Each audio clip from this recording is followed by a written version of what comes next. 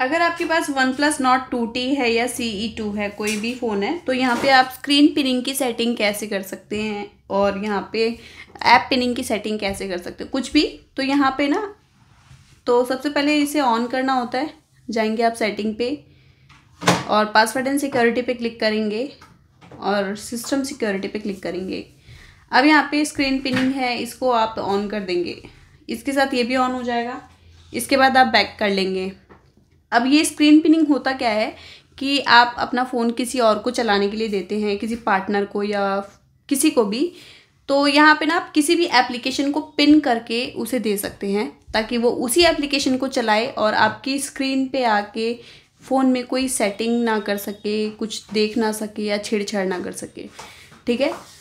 तो अब ये तो ऑन कर दिया, अब आप सोचोगे लगेगा कैसे? तो लगाने के लिए ना, देखो आप अगर चाहे फ़ोटोज़ पे लगाते हो या कोई भी एप्लीकेशन पे लगाते हो तो पहले आप उसे ऑन कर लोगे।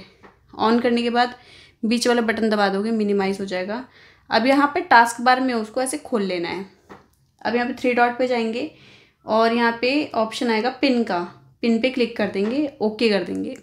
ठीक है? अब ये आपकी पिन हो चुकी है ऐप पिंड देखने को मिल जाएगा आपको और आप अब फ़ोन अपना किसी को भी दे सकते हैं। देख सकते हैं कि यहाँ पे आप कुछ भी कर सकते हैं लेकिन यहाँ पे आप, आप चाहो कि आ, मैं बैक करके होम स्क्रीन पे चला जाऊँ तो होम स्क्रीन पे आप डायरेक्ट नहीं जा सकते ना ही कोई एप्लीकेशन खोल पा रहे हो। देख सकते हैं तीनों बटन काम करने बंद कर चुके हैं। अब कई लोगों को ये प्रॉब्लम लगती है लेकिन ये सेफ्टी के लिए होता है। तो अब आप यहाँ पे इन बटन को कैसे बैक वैक कर सकते हैं यानी कि होम स्क्रीन पे कैसे जा सकते हैं? ऐप पिनिंग रिमूव करने के लिए आपके, आपको क्या करना है? बैक और ये रीसेंट, दोनों बटन को एक साथ ऐसे टच करना है और अपना फ़ोन का जो लॉक है, वो लॉक एंटर करेंगे। लॉक एंटर करने के बाद इस टाइप से ऑप्शन आएगा। अब यहाँ पे आप चाहे बैक करें, चाहे मिनिमाइज़ करें, सारे बटन आपके काम करने स्टार्ट कर देंगे।